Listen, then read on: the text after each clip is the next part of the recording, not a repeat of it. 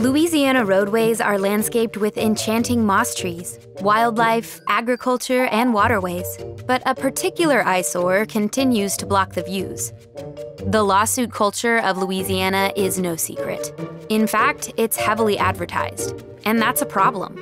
Our legal climate is hurting Louisiana's chances for new investments and costing us good paying jobs. Just take a second to think about how many billboard lawyers you see during your daily commute. On I 10 between Slidell and Sulphur, for every now hiring billboard, drivers will see at least 20 trial lawyer billboards. Louisiana, it's time for a change of scenery. Imagine roadways that surround new businesses, or billboard messages promoting industry jobs, better schools, tourism, and Louisiana growth. A change of scenery is vital to help Louisiana stand out amongst other states, bring new jobs and small businesses, and lower the cost of everyday expenses like car insurance.